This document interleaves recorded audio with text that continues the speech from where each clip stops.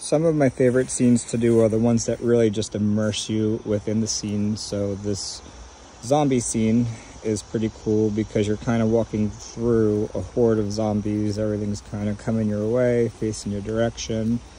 Uh, we have the perimeter zombies and then the central zombies. Uh, the central are all static so that I don't have to run any extension cords through. They're also some of my more expensive and pro pieces. So let's show you those guys up close.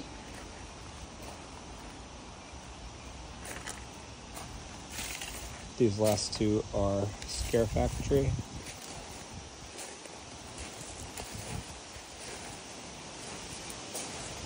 And then on the perimeter, we have a little bit of a mix. You know, we have Spirit. This guy's Unit 70. Spirit. Got a little bit of distortions in the mix.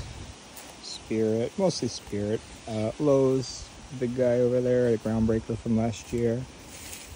Uh, we do have female zombie as well. Uh, just purchased her actually on Mercari, so she should be coming soon. And she'll kind of close out the scene right here. She's probably the last zombie we're going to add at the moment, unless any other good deals pop up between now and Halloween. So, let's give you a little close-up view of everybody. This guy was already pre-done with all that blood. Love it.